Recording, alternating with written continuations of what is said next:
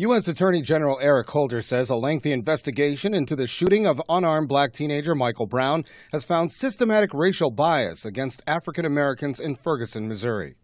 It is time for Ferguson's leaders to take immediate, wholesale, and structural corrective action. Holder's comments come after the U.S. Justice Department said it won't pursue criminal charges against police officer Darren Wilson, who shot and killed unarmed teen Michael Brown six months ago.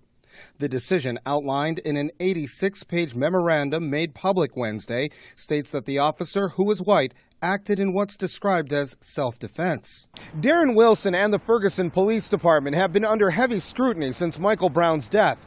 Members of the Ferguson community and others nationwide have engaged in civil disobedience and protests, all rallying around what they call an unjust fatal shooting.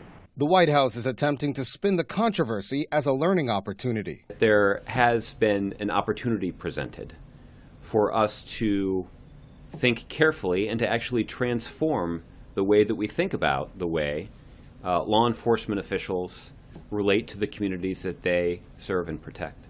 The White House's calculated response comes at the same time a report released by the Justice Department criticized the operations of the Ferguson police. The report found that authorities have routinely violated the rights of black citizens and unjustly used fines and tickets to make up budget deficits in the city. I don't care how good of a driver you are, how safe of a driver you are, how nice you are, they're going to stop you again. The DOJ says that the report's findings are not unique to Ferguson and hopes that other cities will take notice and make changes in their police departments on their own. Colin Campbell, Press TV, Washington.